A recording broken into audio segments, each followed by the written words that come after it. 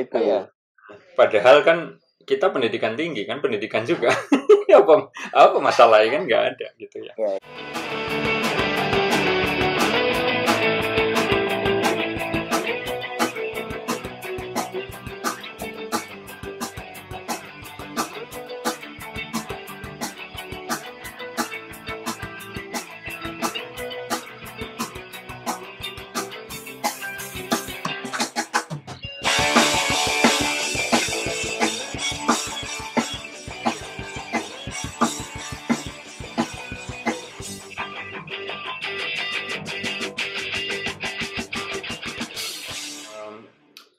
Saudara-saudara yang mengambil kuliah uh, geologi cekungan Bandung, ya.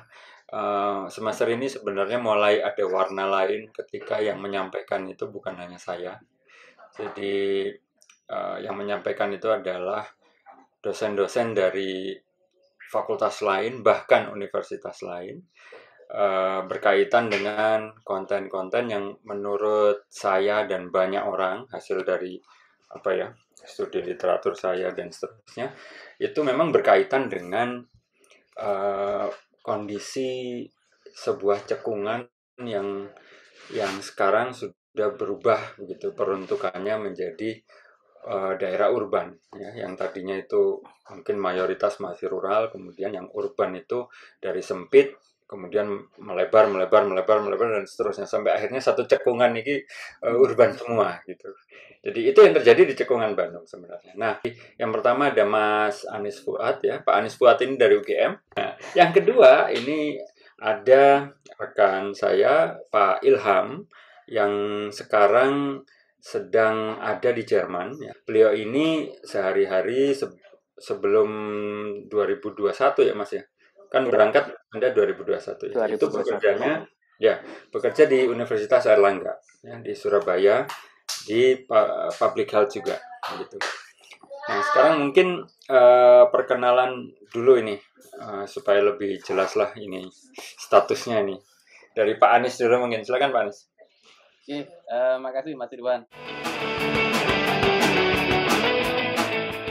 Eh, Mas Irwan kok Mas Irwan tadian. Jadi eh, selamat sore, pagi atau siang buat teman-teman ITB. Eh, ini saya senang sekali diundang oleh Mas Erwin. Em, ketemu dengan Mas Erwin itu anu ya banyak anu menginspirasi ide-ide baru.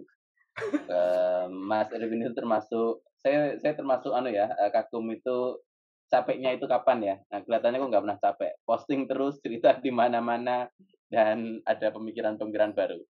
Kemudian yang kedua ini juga ditambah eh, diminta untuk cerita ke teman-teman ITB. Saya ke ITB itu hanya sekali. Dulu waktu pas saya mahasiswa, em, waktu itu saya masih mahasiswa FK di ITB itu ada tokoh sampai sekarang itu masih menjadi tokoh nasional Pak Ono Purbo. Waktu itu Oke. Pak Ono Purbo itu eh, masih di ITB dan beliau itu membuat jejaring eh, apa eh, jaringan internet antar perguruan tinggi dan kami dari Fakultas Kedokteran UGM termasuk yang paling berminat. Wah ini kan sumber ilmu ya. Jadi saya datang ke ITB ikut mendengarkan presentasinya Pak Ono, kemudian kita juga presentasi di UGM itu sudah mulai ada pendidikan jarak jauh menggunakan internet. Kemudian yang terkait dengan latar belakang saya kalau di UGM itu di fakultas yang tadi namanya gonta-ganti. Sekarang namanya masih Fakultas Kedokteran, Kesehatan Masyarakat dan Keperawatan. Saya nggak tahu 5 atau 10 tahun lagi namanya ganti lagi atau enggak. Ini saya kira untuk menunjukkan bahwa ilmu itu tidak akan berhenti. Jadi nama fakultas pun juga boleh berganti-ganti. Meskipun alumni kita juga ada yang merasa anu ya eh, eh, apa merasa eh, tersakiti secara historis. Wah, dulu saya lulusan FK ya, sekarang namanya jadi FKK MK. Itu juga ada yang nggak gitu happy. Tapi ya nggak apa-apa, ini bagian dari sejarah. Makanya kemarin kita juga sempat diskusi di Twitter kan, bahkan di eh, US EAJ itu ada anu ya, ada fakultas kedokteran baru yang merekrutnya itu adalah para insinyur. Para insinyur itu sekolah kedokteran. Nah, ini kan saya kira Ya. perkembangan ilmu yang luar biasa ya. Ini yang yang saya jadi senang eh, bisa diskusi dengan teman-teman di ITB. Moga-moga kita malah dapat menyerap ilmu. Jangan-jangan teman-teman di ITB itu lebih uh, lebih tabib daripada mahasiswa kedokteran. Jadi ilmunya itu dengan ilmu ilmu apa ya, ilmu fisika, ilmu macam-macam itu sudah dapat memahami bahwa banyak solusi-solusi yang uh, kesehatan itu sebenarnya kalau dipahami menggunakan ilmu fisika mungkin sudah ada solusinya kan, ada ide untuk menyelesaikan ke sana. Um, di FK saya di Departemen Biostatistik, Epidemiologi dan Kesehatan Populasi. Uh, epidemiologi berkaitan dengan ya penyakit, kesehatan populasi berkaitan dengan kesehatan masyarakat secara umum. Jadi tadi kalau Mas Erwin menyebutkan tentang fenomena cekungan Bandung, kemudian urban menjadi kelompok populasi dan sekarang populasinya itu banyak, itu saya kira menjadi concern saya yang yang menarik untuk saya ingin belajar.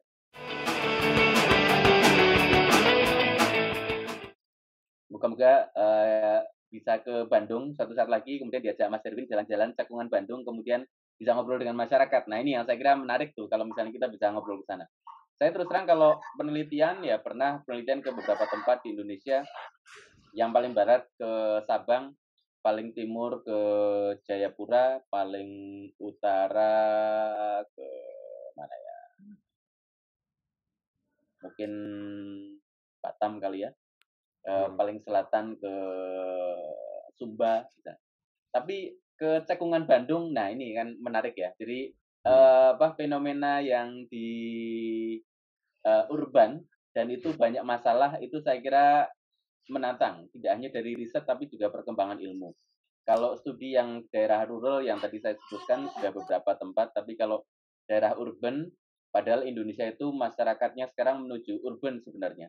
Jadi orang-orang, uh, saya termasuk orang desa ya, dulu kecilnya juga bukan di Jogja, tapi kemudian uh, mungkin apa ya orang tua pengennya le sekolah sing adoh uh, ben ben rada mulya kan jadi makanya disuruh SMA itu kemudian ke Jogja Nah, kemudian ya akhirnya tinggal di Jogja. Tapi asli saya di desa di Kebumen. Mungkin gitu. Weh, uh, ceritanya kepanjangan ya Mas Erwin. Maka. Gak apa-apa. Untuk menambah konteks ini. Kenapa kok yeah. di sini gitu ya. Oke, kemudian ini Mas Ilham. Silakan Mas Ilham. Iya, uh, terima kasih eh, teman-teman. Uh, uh, perkenalkan saya Ilham Hasan Ridho. Um, senang sekali bisa di apa ya diundang diajak ngobrol ya untuk apa ya sharing ya. Mungkin nanti kita lebih ke arah sharing gitu. Dan saya terus terang uh, sudah kenal Pak Erwin ini sudah cukup lama walaupun nggak nggak nggak bisa dibilang lama banget gitu ya. Dan ternyata ini ya Pak, pertemanannya itu ternyata ya uh, punya jejaring uh, yang uh, mungkin teman apa ya teman saya ternyata kenal begitu ya dengan, Pak Erwin begitu ya. Dan memang ada beberapa hal yang kita punya interest yang sama gitu ya terkait dengan ya banyak hal misalkan sense communication terkait dengan beberapa isu-isu uh, yang yang ada di bidang pendidikan dan uh, saya lihat uh, beberapa topik yang uh, kemudian akan kita bahas ini punya irisan gitu ya. Nah ini juga menarik tadi uh, Mas Anies juga menyampaikan uh, perpindahan ini ya uh, arus mobilitas penduduk ini saya saya sebetulnya sama dengan beliau. Jadi saya ini uh,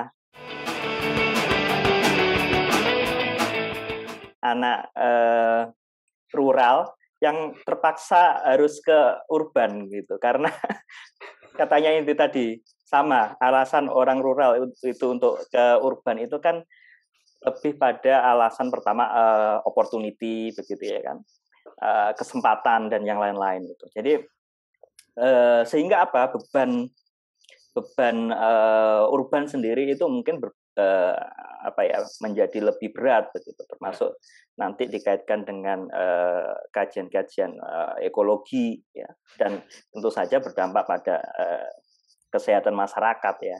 Nah ini yang uh, apa ya titik-titik ini yang uh, coba dihubungkan uh, oleh Pak Erwin. Dan menurut saya ini sangat bagus ya. Termasuk untuk saya pribadi untuk apa ya untuk um, mencoba berpikir lebih keluar ya.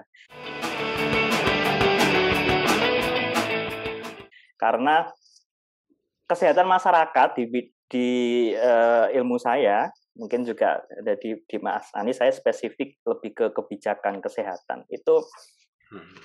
selalu mencasar memang kita punya problem besar itu masalah-masalah uh, kesehatan yang yang biasanya memang lebih banyak ke area-area rural ya ke area uh, karena kita uh, masih dihadapkan pada gap uh, akses dan yang lain-lainnya lebih banyak hmm. keluar begitu ya sehingga uh, menjadi menarik bagi orang-orang puskesmas itu untuk fokus ke situ dulu jadi memperlebar akses bagaimana uh, akses kesehatan itu bisa dinikmati oleh uh, seluruh uh, penduduk Indonesia begitu ya hmm. tanpa tanpa tanpa melihat uh, dia uh, ada di luar Jawa dan di, dan di dalam uh, Jawa sendiri. Nah hmm. sehingga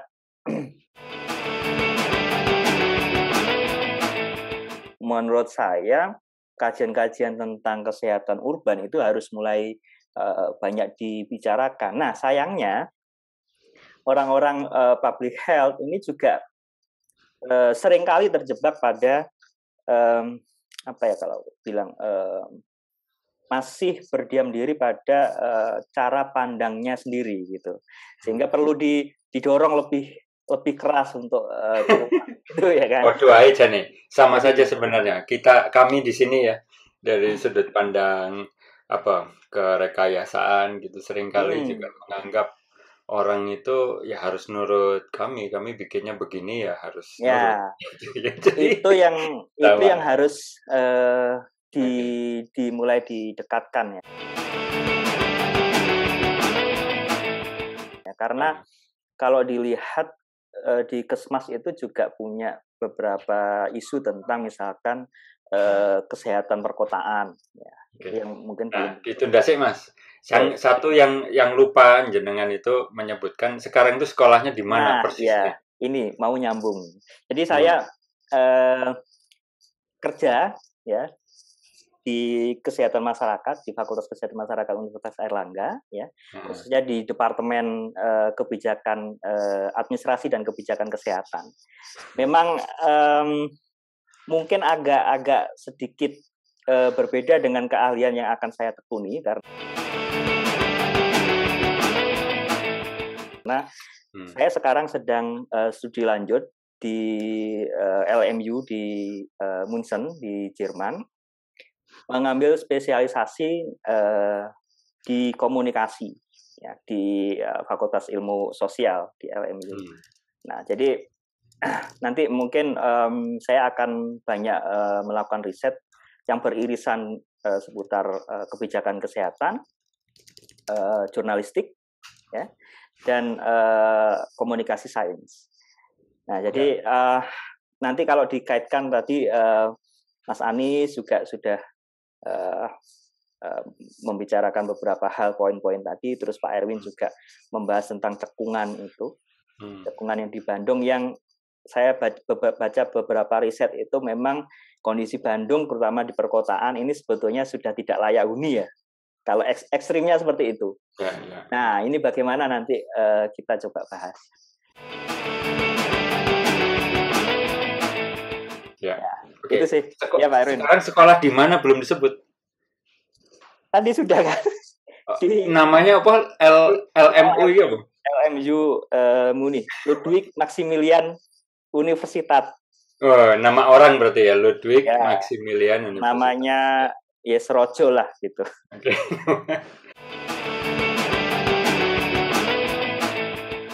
Baik, jadi uh, sudah jelas ya identitas dari uh, apa narasumber kita hari ini dan background keilmuan serta uh, minatnya ya sudah jelas. Nah, sekarang kita coba melihat ini ya Mas Anis dan Mas Ilham. Jadi di di dalam di cekungan Bandung sendiri itu kan sebuah lokasi cekungan yang dibatasi oleh gunung api. Jadi uh, jutaan tahun yang lalu di sini itu gunung api gantian aja meletusnya gitu ya. Yang di utara, di selatan, timur terus saja muter begitu membentuklah sekarang seperti ini. Kemudian di cekungan Bandung juga dikenal dengan uh, ini. Kalau barang tambang yang lain rasanya kok belum ada ya, kecuali bahan galian inilah hmm. untuk bangunan begitu ya. Dan air. Nah, air ini kami uh, alhamdulillah uh, tidak kekurangan sebenarnya dari sisi kuantitas. Ya, kenapa? Karena curah hujan tinggi sekali dengan apa bentang alam seperti ini. Nah, tapi dari sisi kualitas itu bervariasi sangat begitu. Uh, baik perubahan kualitas karena uh, ininya uh, apa namanya kondisi alamnya, juga perubahan kualitas karena manusia begitu. Nah, kalau dari Mas Anies ini ya, dari sudut pandang kesehatan masyarakat karena ada orang di, di cekungan Bandung, uh, apa sih yang yang sangat berkaitan dengan sumber daya air itu di kaitannya dengan kesehatan masyarakat itu? Ini untuk menekankan pentingnya posisi geologi, geofisika dan dan mungkin sipil lingkungan begitu ya yang ada di ITB ini berkaitan dengan kesehatan masyarakat. Silakan Mas. Oke, makasih Mas Erwin. Ya, saya kira tadi pengantar yang baik ya. Uh, jadi uh, fenomena cekungan Bandung itu uh, ada dua hal tadi yang saya lihat. Ada aspek kesejarahan geologis yang sejak zaman dahulu kala sampai sekarang. Kemudian hmm. juga berkaitan dengan melimpahnya air. Kalau saya melihat yang pertama adalah tentang air air itu sebenarnya uh, melekat kepada uh, perkembangan sejarah peradaban kemanusiaan. Orang sejak zaman prasejarah, orang uh, hidup berkelompok itu juga mencari tempat yang berdekatan dengan air. Mulai dia untuk hidup, kemudian juga bagaimana agar dia juga uh, apa uh, untuk uh, kepentingan uh, higien sanitasi dan lain-lain itu dia juga membutuhkan air. Itu ya. makanya kalau kita lihat uh, riwayat orang-orang uh, zaman dahulu prasejarah itu juga pasti akan berkaitan dengan dengan air yang berdekatan. Sehingga air ini menjadi aspek yang penting. Nah, air adalah salah satu unsur alam. Nah, unsur alam kalau dari perspektifnya kesehatan masyarakat, kalau kesehatan masyarakat kan akan melihat bagaimana kemudian masyarakat uh, ingin hidup sehat. Nah, ingin hidup sehat itu ingin terbebas dari berbagai ancaman. Ancamannya bisa ancaman penyakit. Penyakitnya itu bisa karena virus, karena bakteri, karena macam-macam. Ancaman penyakit bisa karena ancaman fisik. Fisik eh, panas eh, panas atau fisik kimia atau kimia atau mungkin fisik panas yang bersumber dari gunung api atau fisik panas yang kekeringan karena tidak ada air dan lain-lain. Kemudian juga eh, masyarakat juga ingin sehat eh, berkaitan dengan uh, apa uh, terbebas dari misalnya uh, penyakit yang diturunkan. Jadi ada orang-orang tertentu yang uh, mungkin uh, tidak beruntung uh, sakit karena secara genetis uh, orang tuanya juga atau kakek neneknya ada uh, memiliki bibit penyakit tertentu yang mungkin nanti bisa tumbuh pada anak cucunya. Dan orang juga ingin sehat dan ini juga berkaitan dengan aspek uh, perilaku sehari-hari. Jadi perilaku makan, perilaku olahraga, perilaku berinteraksi sama orang, itu kan juga berkaitan dengan itu. Nah, kemudian yang terakhir saya kira aspek yang uh, sehat juga karena ingin mendapatkan layanan kesehatan untuk menjaga kesehatannya. Ini sebenarnya prinsip yang secara umum di kesehatan masyarakat dulu ada Bloom atau profesor yang lain juga menyebutkan hal yang sama. Nah, terkait dengan aspek air, menurut saya ini adalah aspek lingkungan yang yang penting. Tadi yang salah satu adalah berkaitan dengan uh, apa uh, aspek yang fisik dan lain-lain. Lingkungan adalah aspek yang penting dalam dalam kehidupan kita. Sehingga uh, kalau misalnya kita melihat uh, yang ada di cekungan Bandung, uh, tergantung kita mau melihatnya dari perspektif yang mana. Kalau teman-teman uh, dari ilmu geologi melihat itu, mungkin jika bisa disertai dengan perspektif kesehatan masyarakat, mungkin bisa ditambahkan dengan uh, apa sudut pandang bahwa uh, situasi geologi ini atau komponen lingkungan ini juga akan memberikan pengaruh kepada kesehatan manusia. Jadi uh, bagaimana melimpahnya air, kemudian melimpahnya air uh, di saat musim penghujan yang begitu melimpah ruah nanti juga dapat menyebabkan uh, apa kalau terlalu banyak ya ada banjir, kesakitan juga. Kemudian ketika air banyak itu juga mungkin ada sumber-sumber uh, penyakit yang lain yang juga bisa tumbuh orang uh, jamur juga mungkin akan lebih mudah tumbuh, orang jadi sering sakit kulit dan lain-lain misalnya. Kemudian karena ini juga bekas cekungan dulu gunung berapi, mungkin juga memiliki kandungan kimia tertentu. Yang yang mana kandungan kimia tertentu mungkin juga kalau kemudian tumbuh di tanah, kemudian nanti akan terserap ke uh, ke tumbuhan, tumbuhannya dimakan manusia, mungkin juga ada aspek kimiawi tertentu atau masuk ke air. Nah, airnya itu kemudian dipakai oleh sehari-hari mungkin juga akan masuk ke sana. Nah, sehingga kalau misalnya kemudian teman-teman geologi juga melihat bahwa saya dari perspektif geologi melihat lebih banyak pada aspek lingkungan, aspek fisik, saya melihat komponen kimiawinya, mungkin juga bisa disertai dengan bagaimana perspektif orang-orang setelah kita melihat uh, dari keilmuan saya sebagai geologi, Nah, itu kami yang dari orang-orang kesehatan merasa sangat membutuhkan. Jadi, jangan-jangan kami malah mendapatkan ilmu baru dari teman-teman geologi. Eh, perspektif apa yang setelah kami teliti dari cekungan Bandung yang dapat membuat kami itu akan hidup lebih sehat. Membuat kami juga tahu yang mana yang harus dihindari dan yang mana yang harus dicegah. Dan kemudian kalau misalnya manusia terus bertumbuh dan berkembang, kira-kira sejauh mana lingkungan kita itu resilient atau uh, atau dapat mengantisipasi pertumbuhan populasi yang kebutuhan airnya semakin banyak, kemudian limbah juga semakin banyak. Ini cekungan ini bisa bertahan sampai kapan? Nah, mungkin perspektif teman-teman dari geologi itu yang saya kira mungkin penting bagi kami. Tidak hanya kami orang kesehatan masyarakat, tapi kami kita semua masyarakat manusia. Mungkin gitu Mas Erwin.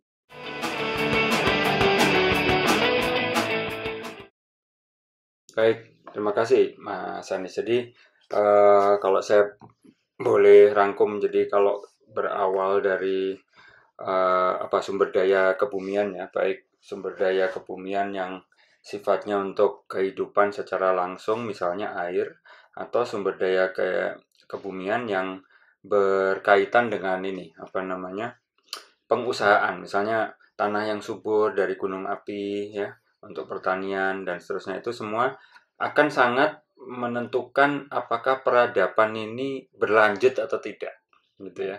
Wah, Jadi Mas Anies kita bicara ya. sustainable. ya, nah, ya, Mas Anies di sini ya. betul.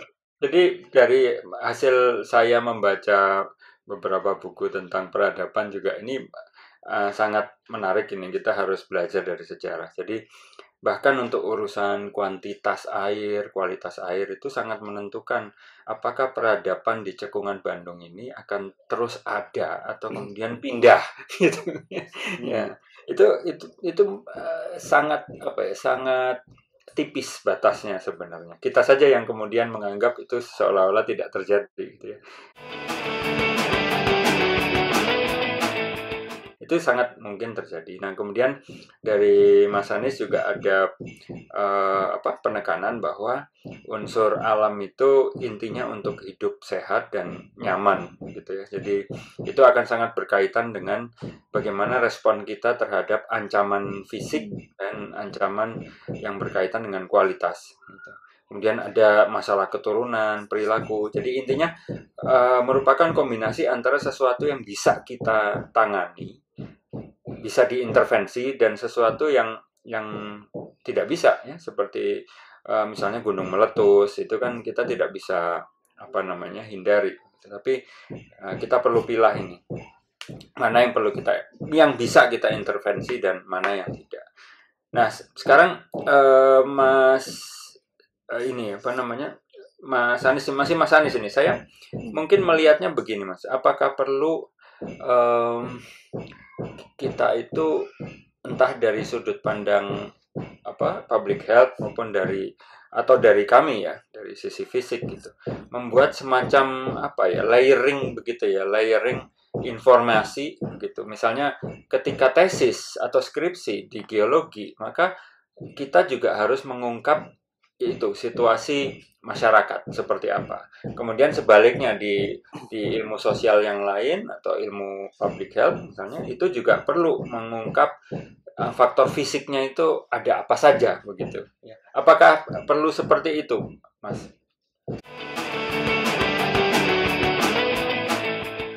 Ya, ini ini saya kira menarik ya. Uh, yang pertama adalah dari perspektifnya kami di uh, di kesehatan. Kita kan sering bicara tentang kalau uh, penelitian mahasiswa bikin skripsi atau tesis biasanya kan bicara antar variabel.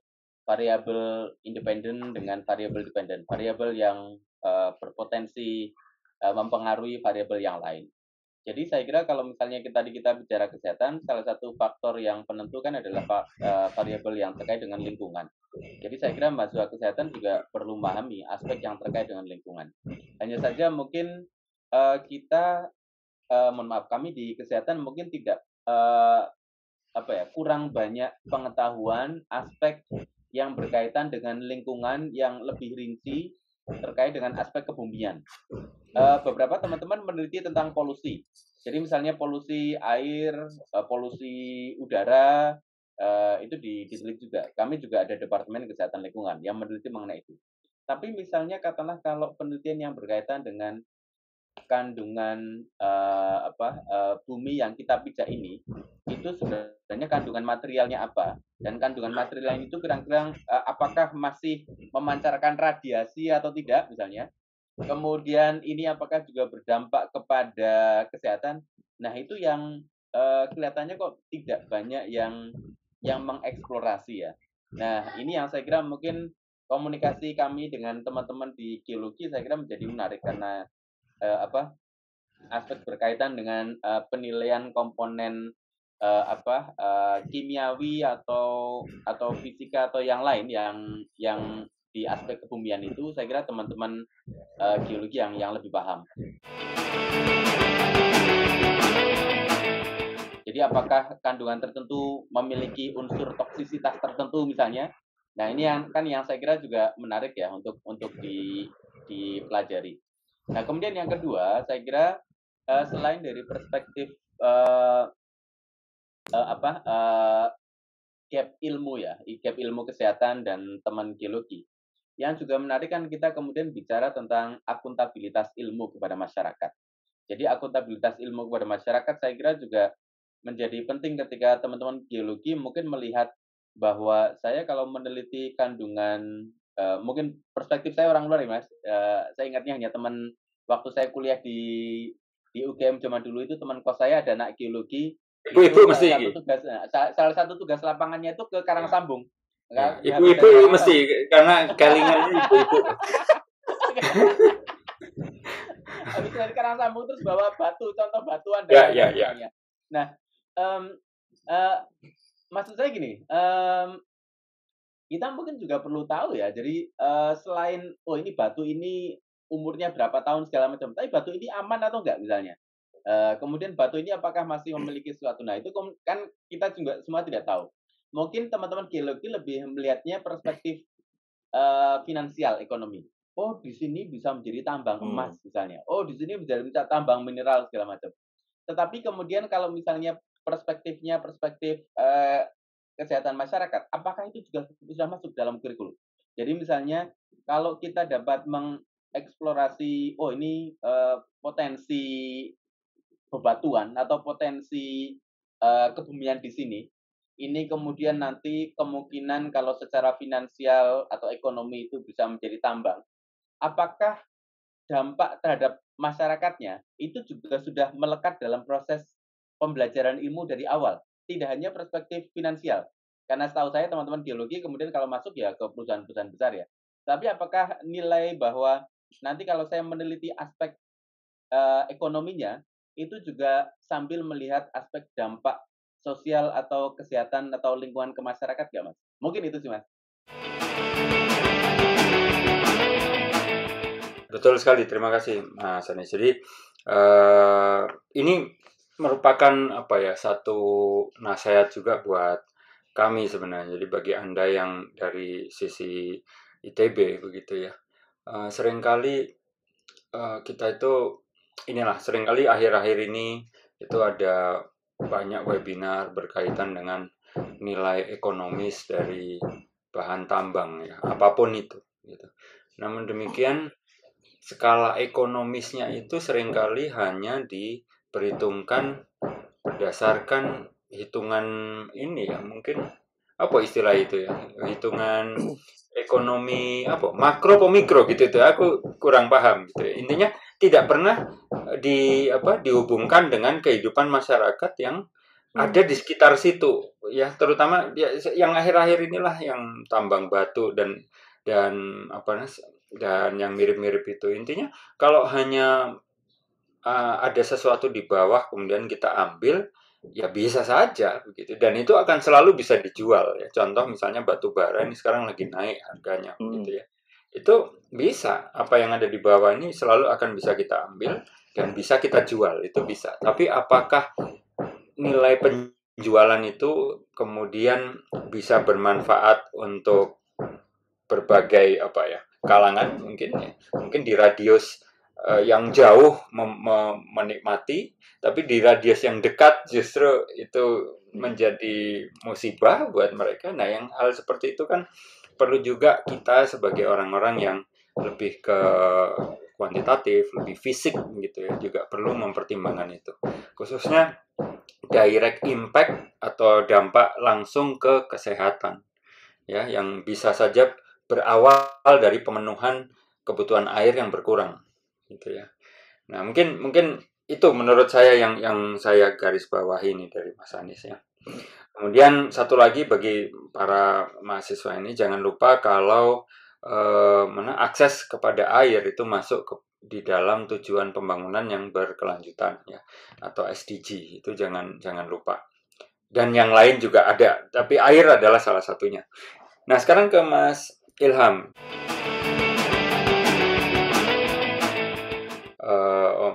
Dosen di bidang public health atau kesehatan masyarakat yang kemudian ingin mendalami jurnalistik ya, di di Jerman ini sebagai salah satu cara untuk menyampaikan ya Pak ya, menyampaikan pesan gitu.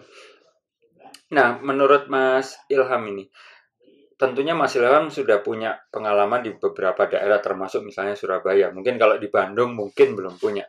Nah, di Surabaya dengan Bandung ini urbannya mungkin sama, tapi hmm. mestinya ada ada tipe ada faktor lain yang membuat ada perbedaan begitu ya. Nah, kalau dari pengalaman Mas Ilham sendiri bagaimana ini masalah pola komunikasi tentang kesehatan masyarakatnya, terutama yang berkaitan dengan ini Mas ya uh, sumber daya yang dari bumi. Hmm. Salah satunya air misalnya. Yeah. Oh enggak Mas, silakan. Oke, okay, jadi gini.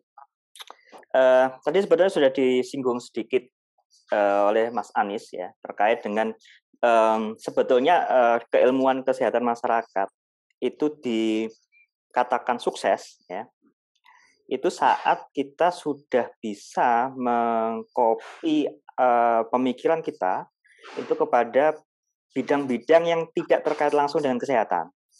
Oh. Nah, ini oh. menjadi penting. Kenapa e, cara berpikir kesehatan masyarakat itu sebetulnya harus e, apa ya diekspor ya dengan bidang-bidang yang lain. Katakanlah e, kalau uh, berkaitan dengan kuliah uh, yang Pak Erwin uh, sampaikan itu ya di bidang geologi katakan. Nah, cara berpikir kesmas ini penting karena apa? Um, kita dihadapkan pada uh, pilihan yang uh, cukup sulit ke depan, apalagi industri uh, ekstraktif ya di Indonesia itu uh, sedang naik daun ya karena kebutuhan pasokan macam-macam katakanlah energi uh, energi dunia apalagi krisis uh, antara Rusia dan Ukraina itu juga membuat Uni Eropa akhirnya harus mengkalkulasi ulang ya bagaimana uh, permintaan energinya. Nah sehingga ada wacana yang cukup yang cukup sengit ya di sini di Jerman ini soal uh, impor uh, batu bara apakah itu masih uh, mungkin ya. Dan itu uh, oleh beberapa uh, aktivis lingkungan di sini juga dikritik. Apalagi termasuk mengaktifkan lagi reaktor nuklirnya. Nah, sehingga uh, menurut saya yang penting uh, di sini adalah bagaimana nanti teman-teman geologi ini juga mulai memakai uh, kacamata perspektif kesehatan masyarakat untuk uh, memaknai berbagai macam hasil temuannya. Jadi mulai bergeser ya. Um, mungkin kalau dulu ngomong uh, industri ekstraktif yang sifatnya tadi sudah disampaikan lebih ke aspek ekonomi dan apa-apa mungkin mulai bergeser ke situ.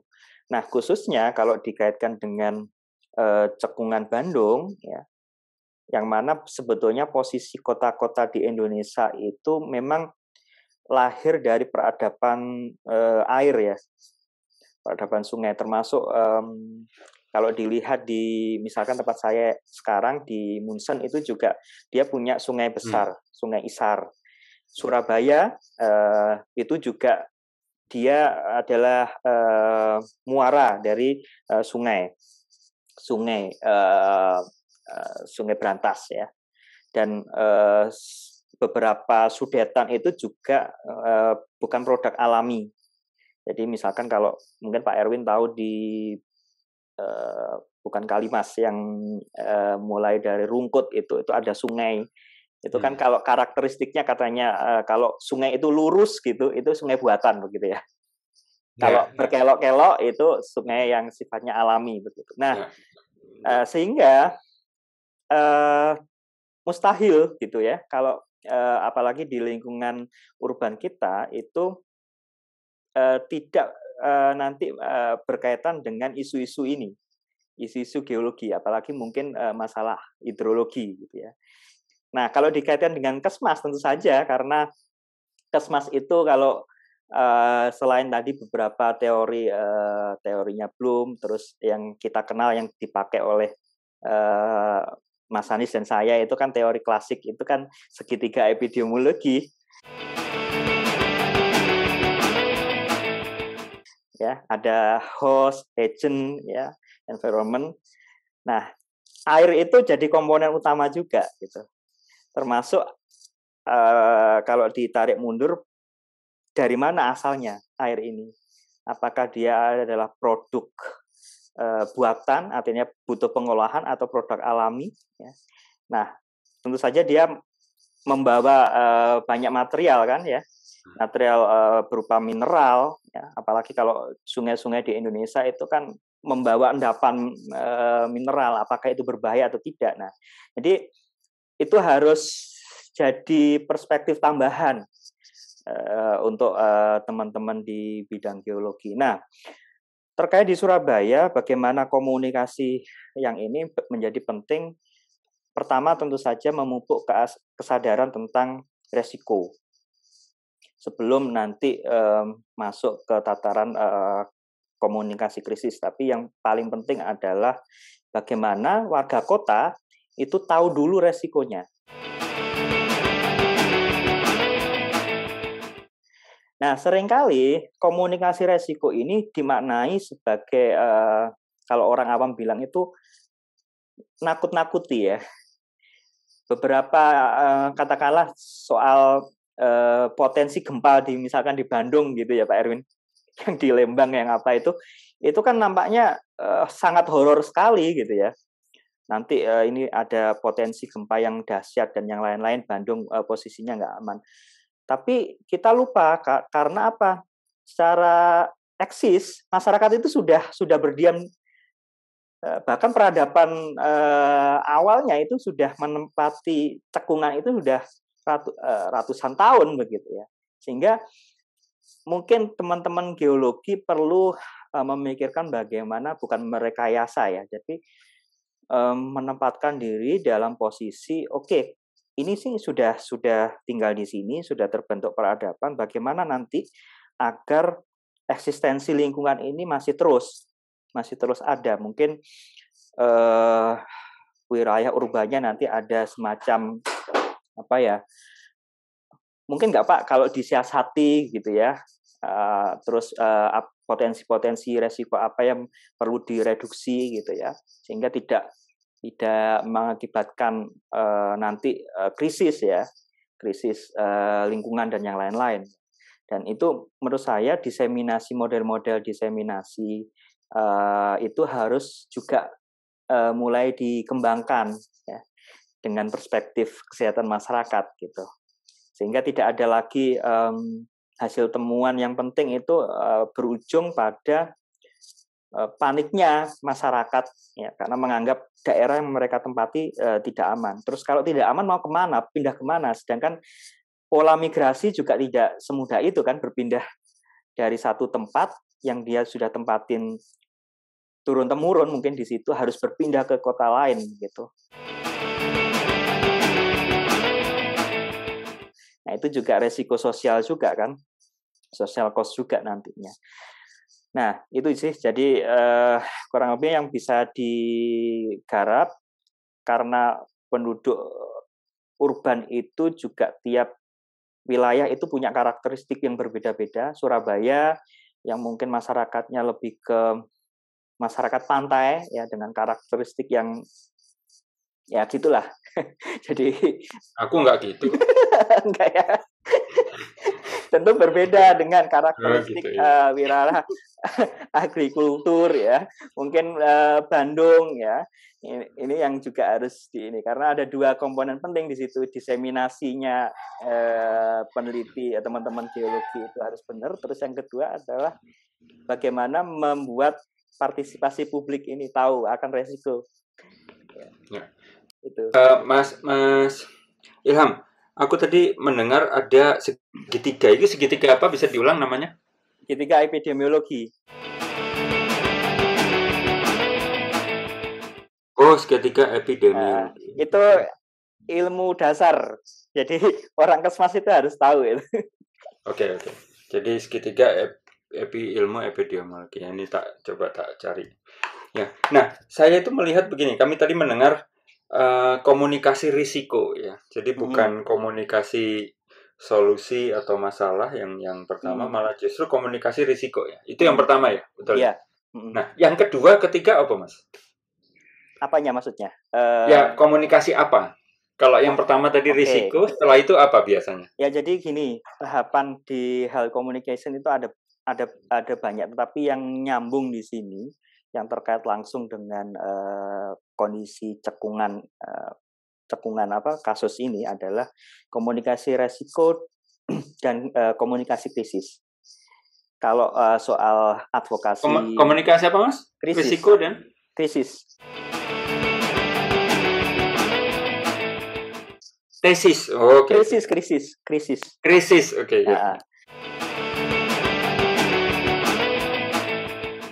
Jadi uh, kalau health advocacy dan yang lain-lain, oke okay, itu mungkin nanti akan lebih banyak menjadi lahan apa ya teman-teman di kesehatan masyarakat ya, yang juga mungkin nanti uh, dalam konteks uh, keilmuan geologi tetap harus nanti mungkin sering-sering diskusi soal itu. Tapi yang menjadi ya, ya. langkah penting pertama yang mungkin juga bisa dibantu oleh teman-teman uh, apa namanya geologi itu soal uh, komunikasi resiko itu dulu.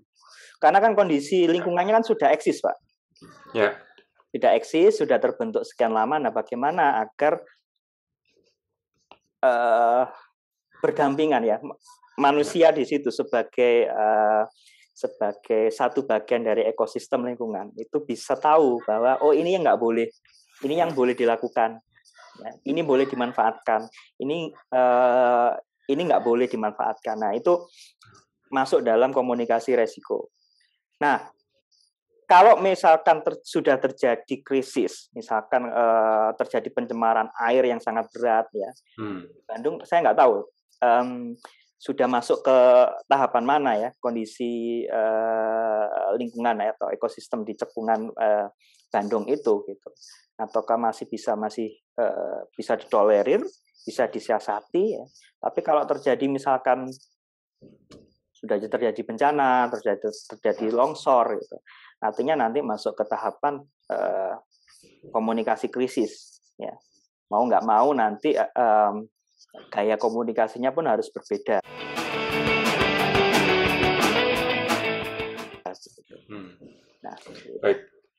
Ya, makasih nih Mas Ram. Jadi uh, kalau menurut saya sih melihat situasi di Bandung gini loh, apa kita itu punya punya apa ya semacam anugerah ya kita itu punya punya anugerah hidup di Indonesia itu uh, tentunya anugerah itu bervariasi, ya kan? Ada yang eh, kita merasa besar, ada yang merasa anugerahnya dari dari Allah dari Tuhan itu bisa kecil mungkin. ya. Tapi intinya kita itu punya eh, kelebihan dibanding negara lain seperti Jerman misalnya.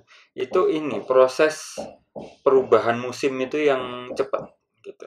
Ya. Jadi eh, hujan dan panas itu di beberapa daerah itu mungkin hampir tidak ada batasnya sebenarnya. Nah, di situ kan sebenarnya peluang ya buat bagi kami gitu ya, bagi kita itu untuk istilahnya kalau sekarang ini self healing begitu ya. Jadi alam itu me, mencuci dirinya sendiri gitu.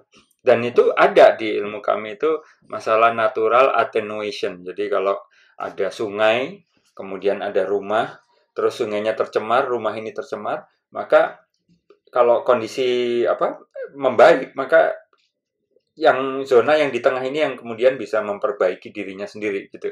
Kurang lebih seperti itu. Nah, namun demikian di Bandung itu memang ini eh, ada di waktu-waktu tertentu itu ada titik-titik akumulasi terutama kualitas ya, memburuk begitu. Nah, itu memang belum pernah ada observasi yang sifatnya mikro memang. Terus time series ya. Karena kesempatan dan dana. Tapi saya yakin itu terjadi setidaknya dari spot-spot penelitian yang beberapa tahun yang lalu gitu ya. Itu bahkan sampai variasi harian tuh bisa keluar. Gitu. Jadi dengan misalnya eh, Bandung kedatangan apa? eh, turis begitu ya di setiap akhir minggu itu jejaknya di kualitas air itu di sungai itu bisa terekam sebenarnya setidaknya di satu dan dua lokasi yang kami observasi. Nah, yang menarik dari Mas Ilham di sini adalah yang pertama eh, industri ekstraktif ya. Eh, itu primadona itu tidak bisa dipungkiri lagi Eh, di negara-negara yang dalam tanda kutip memang masih berkembang itu biasanya memang sangat bersandar kepada industri ekstraktif gitu ya. Itu satu. Namun demikian perlu ada perubahan perspektif dari dari perspektif yang sifatnya lebih ke fisik dan ekonomi ke arah lebih ke humaniora ya, lebih ke manusianya gitu. Termasuk di dalamnya ada kesehatan masyarakat. Nah, sekarang bagaimana agar pola pikir Kesmas itu bisa di copy paste begitu ya ke bidang ilmu yang lain supaya uh, cara kita memandang apa sumber daya alam itu menjadi tidak terlalu jomplang gitu. Yang satu bilang mari kita kuras, yang satu bilang ya tunggu dulu ini mau dikuras bagaimana kalau uh, akibatnya jadi orangnya sakit semua gitu kan ya. Nah, jadi menurut saya itu yang yang penting dari Mas Ilham. Kemudian ada masalah tadi apa? Eh, komunikasi risiko itu penting. Nah, ini saya jadi ngerti sekarang. Kenapa beberapa waktu yang lalu banyak hashtag misalnya Jakarta tenggelam. Gitu. Maunya aku nggak setuju. Tadinya saya itu nggak setuju dengan dengan menakut-nakuti yang ekstrim begitu ya. Apalagi kalau jelas sekarang memang belum tenggelam secara keseluruhan gitu. Kalau tenggelam itu kan satu lempeng daratan itu hilang gitu. Tapi ini kan spot-spot karena memang kondisi geologinya berbeda-beda gitu. Tapi saya sekarang jadi ngerti. Walaupun mungkin orang-orang yang saya kenal itu menggunakan hashtag itu mungkin belum mengenal istilah komunikasi risiko gitu ya. Jadi uh, mungkin secara tidak sengaja mereka menggunakan prinsip itu gitu loh Mas. Oke, nah sekarang eh, terakhir ini karena sudah mau satu jam ya. Dari pandangan Kesmas, kemudian ada komunikasi begitu. Nah sekarang kami dari apa ya sisi geologi gitu ya atau fisik cara caranya bagaimana nih yang yang paling ada di jangkauan kami gitu misalnya kami sedang ngambil data begitu ya di lapangan apa yang harus kami tambahkan ke data kami agar informasi itu bermanfaat buat kami. Juga pada akhirnya kalau itu disampaikan ke orang-orang kesmas itu mereka pun bisa langsung nangkep gitu. Nah dari Mas Anis dulu ini pertanyaannya sama nanti dengan Mas Ilham. Silakan Mas Anis. Oke, makasih. Ini yang saya kira sekarang yang semakin berkembang itu kan adalah uh, prinsip pembelajaran atau pendidikan uh, apa uh, melalui kolaborasi antar profesi. Kalau di FK KMK UGM kita mengenal ada uh, interprofessional collaboration itu jadi di prodi kita kan di Fakultas Kedokteran Kesehatan Masyarakat Perawatan kan S1-nya ada tiga prodi itu, prodi kedokteran, prodi hmm. gizi, prodi keperawatan. Itu kita ada SKS yang uh, berulang dari semester 1 sampai semester 8. Itu mahasiswa tiga prodi itu ada kelompok bareng. Dan itu mereka akan memiliki satu uh, apa keluarga binaan. Yang keluarga hmm